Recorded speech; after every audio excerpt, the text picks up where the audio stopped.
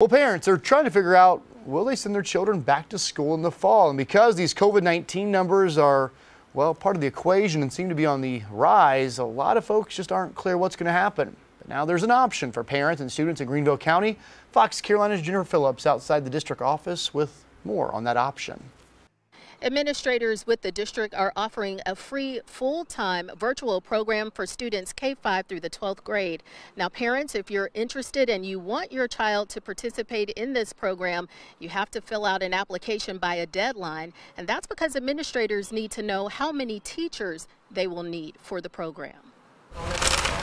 Christy Reed has three children. One is a junior at Eastside High School in Greenville County. It has been hard for all of us. It they were troopers as far as getting their work done. COVID 19 pushed students out of the classroom and onto e learning.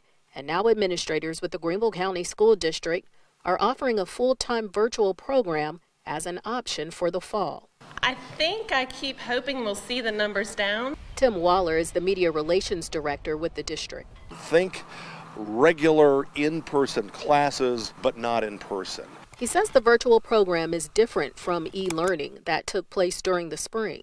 We will be able to assess a student's progress. Grading will become more strict and stringent under this new program. He says there will be live instruction from teachers at a set time each day, and classes will be recorded too. We're going to have teachers who are entirely dedicated toward uh, in-person classes.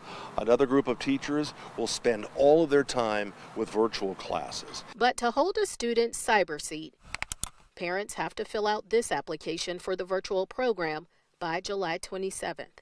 If virtual classes or if in-person classes under the circumstances aren't working out for your child and you want to go to the other, we'll try to get you in but it may take a while. And Christy Reed appreciates the option. And I think at this point, we'd like to be able to see our kids at school with their friends and, and learning in person from their teachers.